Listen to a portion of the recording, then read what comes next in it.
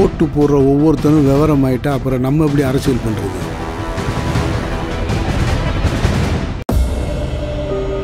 என் பொண்டாட்டி மேலையா கை வைக்கிறீங்க?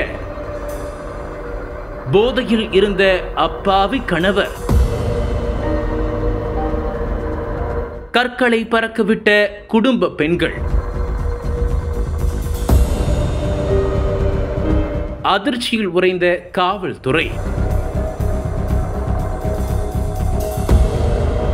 கோவையில் பயங்கரம்.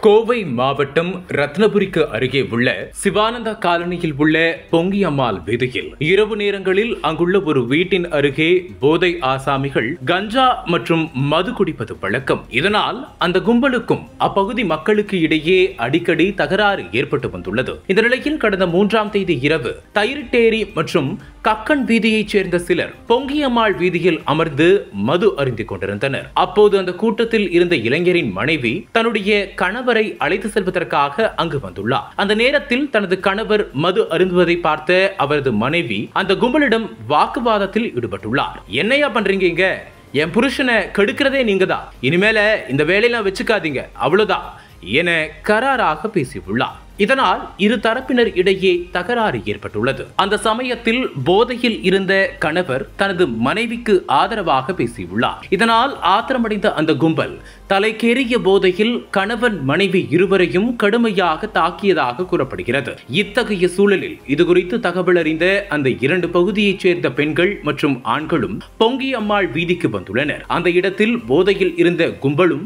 பொதுமக்களுக்கும் கற்கள் கட்டைகள் உள்ளிட்டவற்றால் ஒருவரை ஒருவர் சரமாரியாக தாக்கிக் கொண்டனர். இதனால் அந்த பகுதி முழுவதும் கலவர பூமியாக காட்சியளித்தது. இந்த நிலையில் இதுகுறித்து தகவல் அறிந்த ரத்னபுரி காவல்துறையினர் உடனடியாக சம்பவ இடத்திற்கு வந்து இரு தரப்பினரையும் சமாதானம் செய்ய முயன்றனர். ஆனால் காவல்துறை வந்து சமாதானப்படுத்தியதை பொருட்படுத்தாமல் இரு தரப்பினர் ஒருவரை ஒருவர் மாறி மாறி மோதிக்கொண்ட சம்பவம் அரங்கேறியது. இரு வீதிகளைச் சேர்ந்த இரு தரப்பினருக்கு இடையே கடும் சண்டையில் ஏற்பட்ட இந்த சம்பவம் அப்பகுதியில் பெரும் பரபரப்பை ஏற்படுத்தியது. பின்னர் இரு தரப்பினரையும் காவல் நிலையத்தில் வந்து புகார் அளிக்க காவல்துறையினர் அறிவுறுத்தினர். பின்னர் அங்கிருந்த கூட்டத்தினரை அப்புறப்படுத்திய காவல்துறையினர் அங்கு இருந்து கிளம்பி சென்றனர். இதனால் அப்பகுதி போர்க்களம் போல காட்சியளித்தது.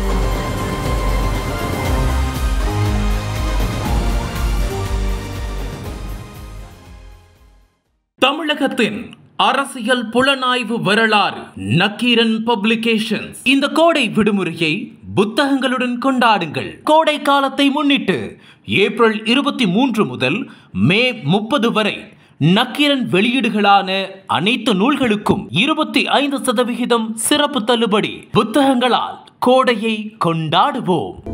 அனல் பறக்கும் செய்திகளை அப்டேட் செய்து கொள்ள நக்கீரன் களத்தை இப்பவே சப்ஸ்கிரைப் பண்ணுங்க.